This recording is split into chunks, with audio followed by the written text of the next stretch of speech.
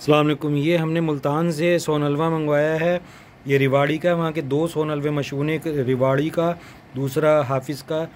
तो ये tin packet में आया, वन के जी है, देसी घी में पका हुआ होता है। और मशहूर वहाँ की सौगात है मुल्तान की। तो ये इस तरह पैकिंग में आया है, किसी के ज़रिए हमने मंगवाया है। फ़िलहाल अभी तो रेट हमें बारह सौ पड़ा है। और खा के इसको बताएँगे, देसी घी में पका होता है, बहुत अच्छा है ये।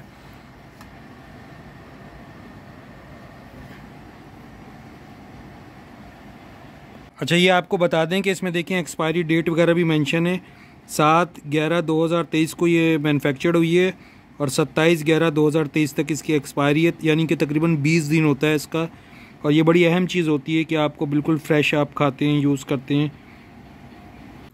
ये कल वीडियो बनाई थी इसकी रिवाड़ी के सोन हलवे की और ये खा खा के तकरीबन ख़त्म ही कर दिया है। इसमें मुझे नहीं लगता है कि कुछ बचा होगा इसमें।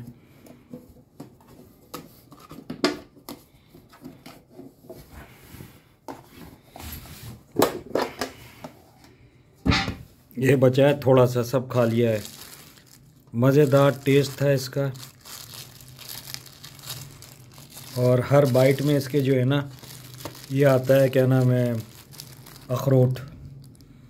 बहुत इसका ज़बरदस्त टेस्ट था। मैं तो रेकमेंड करूँगा कि जिसने खाना हो, वो सोन हलवा रिवाड़ी का खाए। जिसने नहीं खाया, उसने समझे सोन हलवा खाया ही नहीं है। तो नेक्स्ट टाइम हम ये और ज़्यादा क्वांटिटी में मंगाएँगे।